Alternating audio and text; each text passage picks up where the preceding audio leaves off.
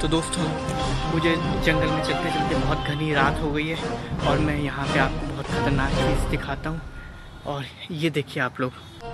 तो दोस्तों, ये देखिए यहाँ पे उल्लू जो है, बैठा हुआ है। दोस्तों, आप लोग, एक ये बैठा हुआ है और एक ये बैठा हुआ है। तो गाइस मुझे काफ़ी देर हो गई इस समय जंगल में चलते चलते।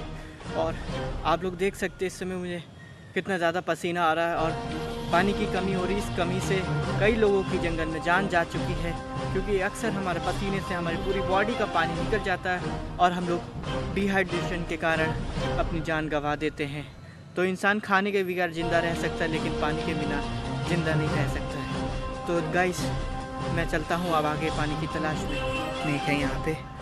तो मैं इससे उलझना नहीं चाहूँगा, क्योंकि ये किंग कोबरा वाला स्नेक है यहाँ पे। अगर इसने काट लिया तो ऑन द स्पॉट डेथ भी हो सकती है। तो, तो कभी भी आप लोग ऐसे जंगल में जाएँ तो हमेशा सतर्क रहें और सावधान रहें क्योंकि हर कोई मोड़ पे ऐसा खतरा हो सकता है जिससे आप अनजान हो और आपकी जान भी इसमें जा सकती है।